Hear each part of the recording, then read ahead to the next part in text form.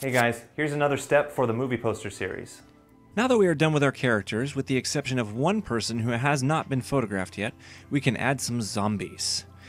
In Freezer Burn, zombies are generally the main enemy of the movie, and what I want to do is create a whole horde, a whole army of zombies right behind these guys. Since creating crowds or large numbers of people from scratch is a wonderful pain in the butt, I'm going to show you a few techniques to do it very easily and in just a few steps. I'm also going to show you how to access custom brushes, which is also easy. So I googled zombie Photoshop brushes and I got this one. It's under lordofdesign.com slash zombie dash Photoshop brushes dash pack.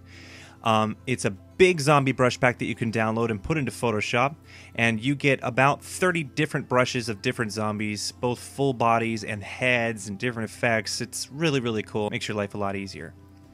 All you have to do is click on one of these links here, download it, and then click on the zombie pack to open it up. And then just do a quick search for zombie if your computer doesn't find it for you. Find your zombie brushes and simply double click them, and they will be added automatically to your brush templates. And you should see your brushes here, but I don't right now, so that means I have to restart Photoshop. So give me a minute while I do that.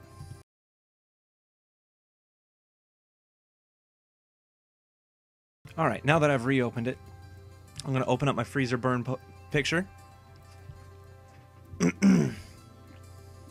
Check my brushes, and there are all my zombies. So we'll go ahead and grab one of our zombie elements, and we're going to open up a new layer. We're going to call it zombie layer. And we're going to move it into our effects folder. I move the effects folder below Robbie, Corey, and Zero because I want the zombies to show up behind them.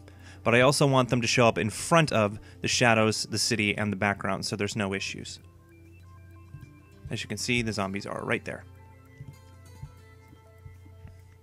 Now, with the brush tool, make sure your zombie layer is selected, and we're just going to put one in real quick just so you can see what it looks like. And there is a zombie. He's looking pretty good. Now, what we want to do is add multiple versions of different zombies in large numbers without having to do too much work. And I'm going to show you how to do that. On the side of Photoshop, there's this little option right here, that's Brush Presets. Click that, you get a little submenu. There are a series of tabs. The middle tab says Brush. And you have access to the different brushes. Now, we're going to choose our main zombie right here. And we have a bunch of options here that help us with customizing our zombie paintbrushing effects. Shape Dynamics makes it so the zombies, whenever I paint them on, don't exactly show up in the same way, as you can see. If that were off, they'd all look the same. We don't want that. So we're going to turn on Shape Dynamics. Change the jitter as much as possible so they all have different sizes and shapes. Diameter will change how many zombies will show up at once the more you paint. And now we want to turn on scattering. Scattering makes it so as you paint, they don't show up in a perfect line, they show up in different areas, which is a good thing. So you can change the scatter percentage, which will make them show up in different areas. This may be a good or not so good thing, depending. For my picture, I don't want to do it too much because there is a certain level of three-dimensional depth to my poster. And then the effects below scattering give different effects that aren't really necessary for what we're doing. Let's also turn on both axes under scatter.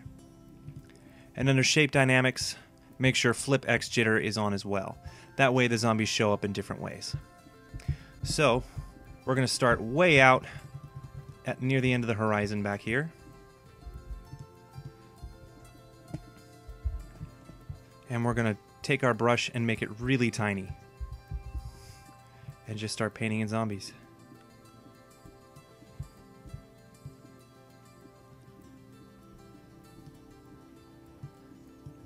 That's pretty good.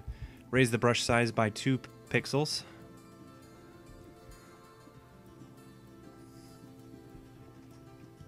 Two pixels again.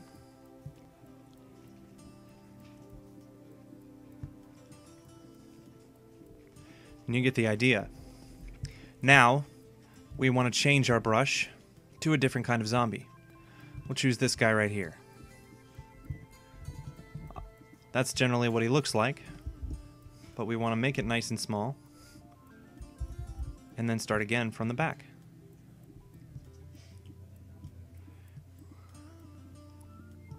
Now, crowd control is up to you. You can either make it look ridiculously crowded and make it look really hopeless for them, or you can keep it relatively unscattered. So bear with me while I fill all this in for you.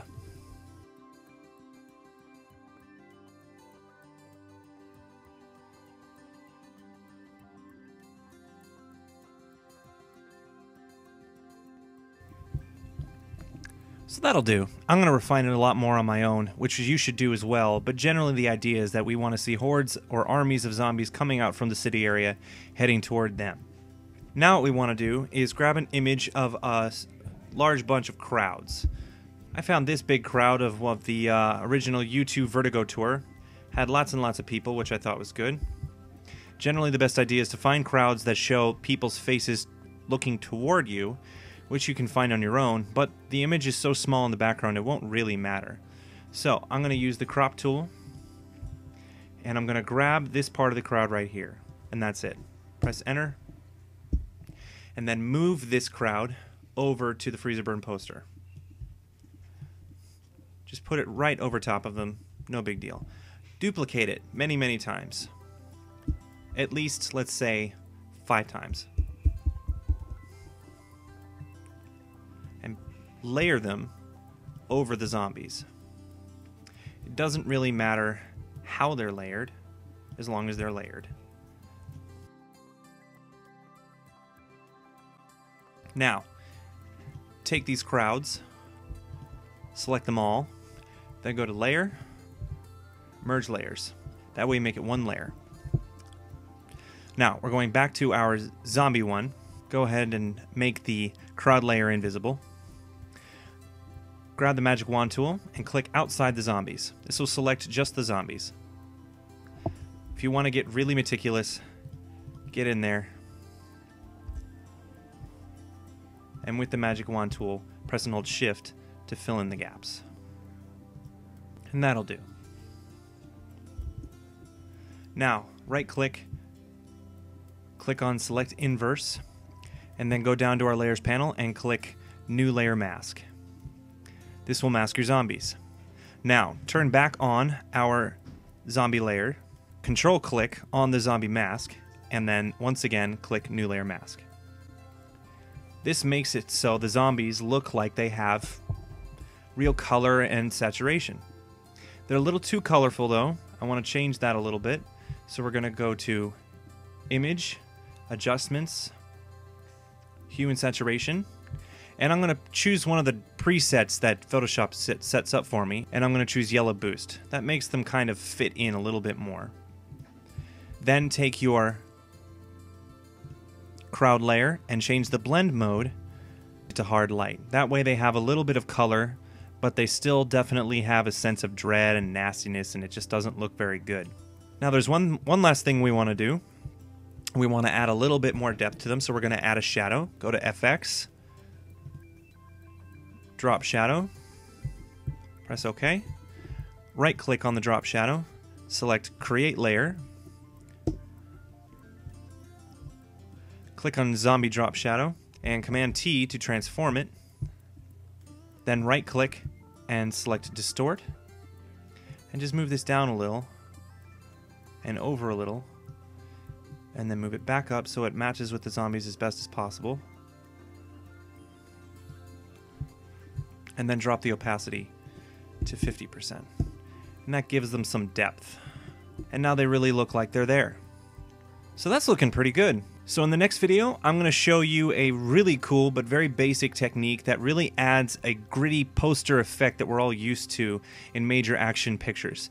As you can see, our subjects are a little bit soft on the face, and normally that's okay, but I really want the grittiness and dirtiness of movie posters that we like to see so much really show in this, and I'm going to show you how to do that in the next video.